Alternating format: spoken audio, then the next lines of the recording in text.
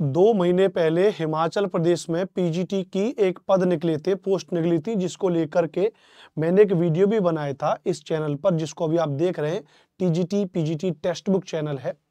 हिमाचल प्रदेश भर्ती पीजीटी भर्ती notification out संपूर्ण जानकारी एक वीडियो में मैंने कराया था। लगभग साढ़े आठ हज़ार बच्चों ने इस वीडियो को देखा भी था, क्योंकि जितने भी हिमाचल प्रदेश रीजन के उन्होंने देखा था। अब आज क्या हुआ है? आज उसका याद रखना, आज इसका जो हिमाचल प्रदेश का, तब से क्या आया था, केवल भर्ती आई थी कि भाई इतने पदों पे भर्ती होगी। लेकिन आज इसका क्या दे दिया, उन्होंने ऑफिशियल सिलेबस दे दिया है। ये उस समय का नोटिफिकेशन है, जब ये भर्ती आई थी, मेरे पास रखा है प्रेस नोट है, सोलह दो हज़ार तेईस का, जिसके अंतर्गत ये पूरा का पूरा आया था। अब आज क्या आ गया, आज इसका ऑफिशियल सिलेबस आया है छह एक दो हज़ार चौबीस और जिस दिन मैं वीडियो रिकॉर्ड कर रहा हूँ, आप देखेंगे इसमें लिखा है कि पाँच पोस्ट ऑफ़ लेक्चरर जो हैं, उनके लिए अब यहाँ पे इसके बारे में पूरा सिलेबस के बारे में दे रखा है। इसको मैंने पूरा का पूरा पढ़ लिया है, मैं आपको इसको संक्षिप्त में बता रहा हूँ कि कहानी है क्या। तो कहानी ये है, संक्षिप्त में इसको समझिए यहाँ पर भैया, कि हरियाणा में, माफ़ करिएगा, हिमाचल प्रदेश में जो एग्ज़ाम पैटर्न इसका होगा, उसमें दो पेपर होंगे। एक तो होगा पेपर वन होगा, एक होगा हमारा पेपर टू होगा। पेपर वन हमारा इसमें क्वालिफाइंग नेचर का होगा। केवल 35 परसेंट अंक आपको उसमें लाना अनिवार्य है। लेकिन यदि 35 परसेंट अंक नहीं आए तो आपका पेपर टू की कॉपी चेक नहीं होगी। अच्छा पेपर वन जो क्वालिफाइंग पेपर है, उसमें 50 क्वेश्चन है और एक घंटे का समय होगा। कितना? एक घंटे का समय होगा, पचास क्वेश्चन है आपके इसमें।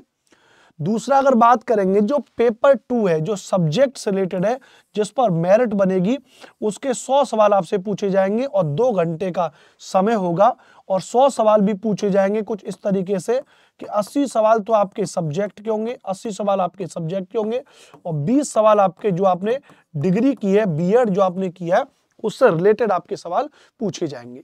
क्लियर है? तो एग्ज़ाम पैटर्न आपका ये हो गया। पीजीटी है, दो जो सब्जेक्ट है, उस सब्जेक्ट की आपको तैयारी करनी है। क्या अनुपम भाई नेगेटिव मार्किंग है? जी हाँ।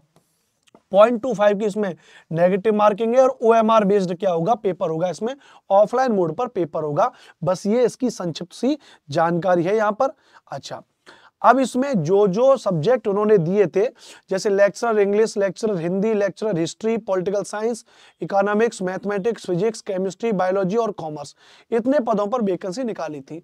तो उतने ही पदों पर इनका क्या दे रखा है भैया? यहाँ पर याद रखना ऑफिशियल सिलेबस भी दिया हुआ है नीचे। लिखा है please click on the concern subject given below English Hindi history political science economics mathematics physics chemistry biology commerce इन पर निकला हुआ है। जैसे अगर मैं हिस्ट्री पे क्लिक कर दूँ तो हिस्ट्री का जब खुल के आ जाएगा तो यहाँ पे लिखा है syllabus for objective type subject aptitude test set जो लिखा होता है एस मतलब उसका सब्जेक्ट का ऑब्जेक्टिव टाइप क्वेश्चन होंगे, और इसमें लिखा है कि दो घंटे का समय होगा। पार्ट वन सब्जेक्ट का होगा अस्सी नंबर का, सिलेबस आप अपना पढ़ लेना जो जो टॉपिक है अस्सी नंबर के।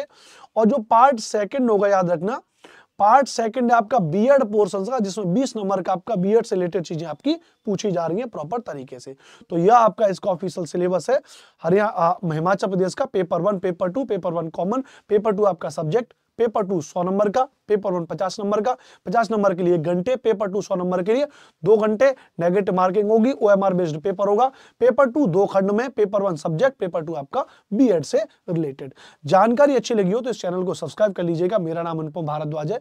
पीजीटी और टीजीटी से जुड़ी हुई सारी चीज़ें आपको इसी चैनल पर मिलती हैं और वीडियो के नीचे कॉमेंट करके ज़रूर बताना जानकारी कैसे लगी। सबसे पहले, सबसे सटीक जानकारी लेने के लिए इस चैनल को भी सब्सक्राइब करें और लाइक करें।